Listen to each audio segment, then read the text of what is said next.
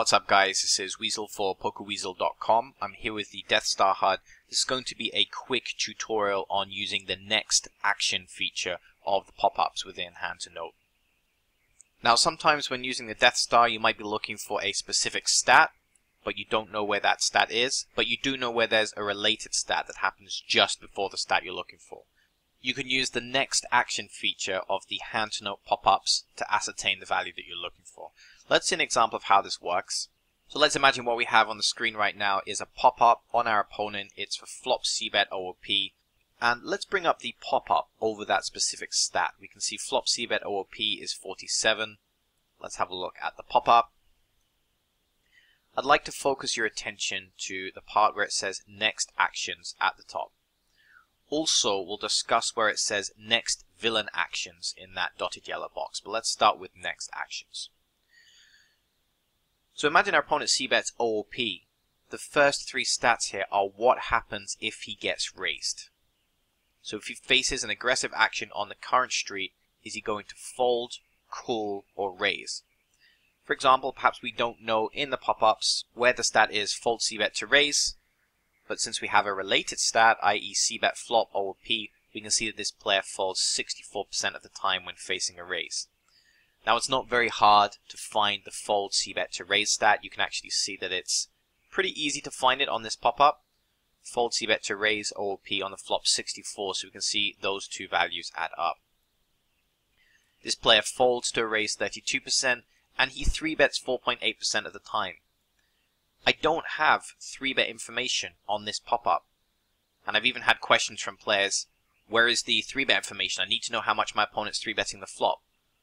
Well, if you understand how to use your pop-ups well, you don't need to find that information in the pop-up anyway. You can look here. You know that this play is going to be 3-betting the flop 4.8% of the time if we raise continuation bet out of position. Let's look at the next part there. We have B, X, and two numbers. Now this applies to the next street. So this is assuming that we don't raise his C-bet, and we instead just call his C-bet. This is how often this player will be barreling the turn, 59%, and this is how often he'll be skipping his turn barrel, 41%. Again, we can verify that by having a look at the information on the pop-up. We can see that this player c-bets the turn out of position 59%. That correlates precisely with the stat we have in the pop-up on the right. The interesting thing here is that these are two different stats. Although they show the same thing, they're generated in different ways. The stat on the right is automatically generated by Hand2Note. The stat on the left, I've coded as part of the Death Star HUD. It's good to notice that these values align with each other. Sometimes you might find that the stats are calculated slightly differently depending on the criteria for the stats I've coded. You might see a few percent discrepancy, but we can see in this particular instance, the stats are lining up perfectly. We know that this player will definitely c-bet the turn 59% OOP after we call his flop c-bet. Let's now have a look at next villain actions. Now in order to unlock this feature you do need an Edge subscription. And the reason why this is the case is because this is essentially a population analysis tool. So in the context of us looking at villain's HUD, when it says next villain actions, it's actually talking about us, assuming we're hero. So it depends on whose pop-up you're looking at if we're looking at our own pop-ups for the sake of self-analysis, then when it says next villain actions, it's talking about villain. Whereas in this context, because we're looking at villain's HUD, when it says next villain action, it's talking about us, assuming that we are the opponent in the hand. So essentially what this means is, when this player who we're analyzing c-bets, how often is his opponent folding over the sample size? In other words, this first stat here of 40 is essentially a c-bet success stat.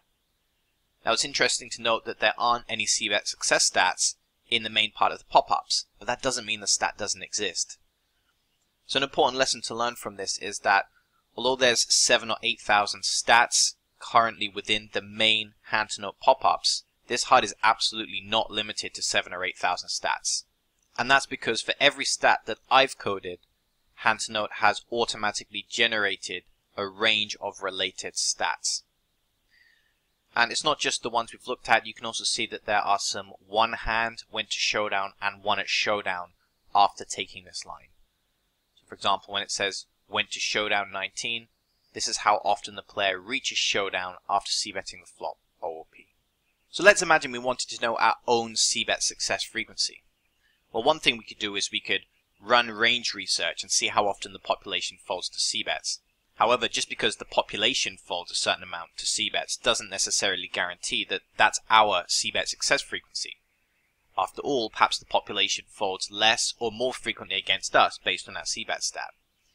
If we want to specifically know how often our c-bets are working against the population, we can bring up the pop-up on our cells for this specific stat, i.e. c-bet flop OOP in this case, have a look at next villain actions provided we have an edge subscription and this is our c-bet success frequency against the population which could be different from the overall fold to c-bet stat that we find in the range research population analysis tool.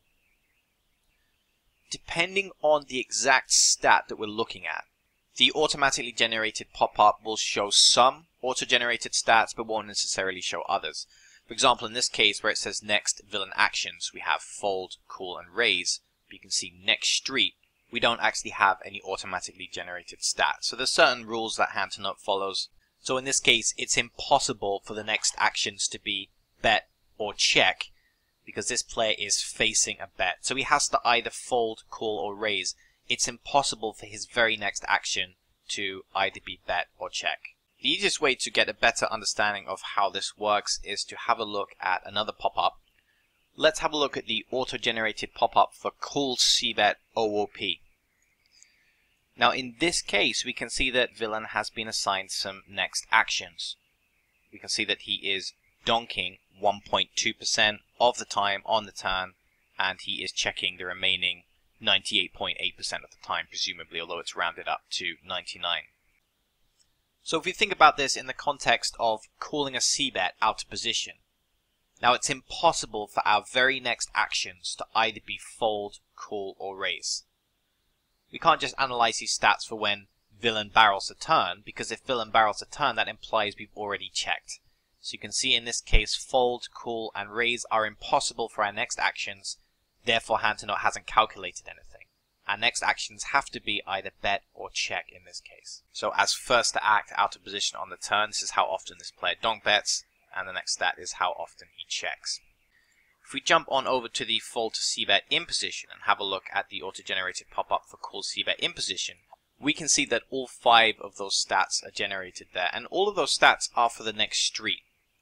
So assuming villain calls a flop c-bet in position, how often does he fold to a barrel on the turn? We have fold, call, and raise. Again, we can confirm these stats by having a look at the main coded stats in the left-hand pop-up. So for example, fold to turn barrel after call flop c bet, you can see 44, so that matches up. Raise against turn barrel, you can see that a little bit lower in the left-hand pop-up, 9.8. So you can see everything checks out there. As for this bet and check auto-generated stats, 83 and 17, this is actually going to refer to float bet turn and skip float bet. And again, you can confirm that by looking at the pop-up on the left. So float bet turn, we can see, is 83%. So obviously skip float bet has to be by default 17. Now, if we imagine for a minute that this is our pop-up, we might be interested in how often we face a turn barrel after calling a flop C bet in position. We'd obviously do that by looking at next villain actions, and we can see that in terms of the bet and check stats there. 57 is bet, 43 is check. In other words, when we call a flop c-bet in position, we're going to face a turn barrel 57% of the time if we assume this was our pop-up. So again, you don't have to purely rely on population analysis. That's the other way you could get this number, run the population analysis, see how often the entire population barrels the turn against everyone. But if you think people are barreling against you more or against you less, you can come here and see how often the population is betting against you specifically. So it's a type of versus hero stat across the population. So it combines range research and versus hero information. I think you probably get the idea. Let's just look at one more stat. We're just going to return to this call CBET OOP. We're going to have a look at next villain actions and just interpret what they mean. So we already had a look at the next actions at the top. We'll now have a look at next villain actions. If we start with those bet and check stats, because those are the simplest, we have 48 and 52. This is basically going to be villain's barreling tendencies. So if we assume that we're looking at our pop-up right now, we've just called a flop c-bet OOP, we check the turn, this is how often our opponent is going to barrel, 48% of the time. Now let's have a look at those first three stats, fold, call, and raise. Well, when would our opponent's next option be to either fold, call, or raise? This would imply that we were donk betting the turn. This must be how our opponent is playing against a donk bet. Again, assuming that this is our pop-up. If this was villain's pop-up, we should think of these as his success frequencies when he donk bets the turn, OOP. So imagine it's our pop-up, and we decide to donk bet the turn. This is how often our opponent, on average, is folding, calling, or raising against that turn donk bet. Can see 26% folds, 47% calls, and 26% raises. Now, of course, do we actually think that villains are raising turn donks 26% of the time? Probably not. Keep in mind that this is the type of stat that generates a sample size slower than other stats. And that's because it's somewhat unorthodox to donk bet the turn. It does happen, but less often than various other lines that are taken. So it could be that this particular stat's suffering from variance. Either way, the important thing is that you understand what these stats represent. And if you can use these stats effectively, it's going to greatly augment the number of stats you have at your disposal and also your access speed. Because now you have more than one way to access the same stat. So if you know the stat you're looking for is a long way away in one of the other pop-ups, but you can just hover over a related stat and pick up the auto-generated information, then you may as well do that and save yourself time mid-hand. Not to mention that I haven't necessarily coded an equivalent for every single auto-generated stat. So when you add in the auto-generated stats, we're not talking about eight or nine thousand stats in the pop-ups, we're talking about 50,000 plus stats at your disposal thanks to this built-in ability of Hand2Note to auto-generate related stats for the stats that we code. So next time you think that a stat is missing from the HUD, before you message me to say, hey, why don't you add a 3-bet flop stat, for example, before you do that, think about whether it would appear in any of the auto-generated pop-ups from Hand2Note because the chances are it will and you can get access to some very obscure stats which we probably don't want to spend our time coding but they're going to be there anyway and besides why code a certain stat if you know for certain that it's auto-generated by Hand2Note so just keep that in mind just because I haven't explicitly coded a stat doesn't mean I've necessarily overlooked it in some cases I've said okay, I'm not going to waste my time coding these stats because they're definitely there in the auto-generated pop-ups. They're very clear and easy to use if you know where you're looking.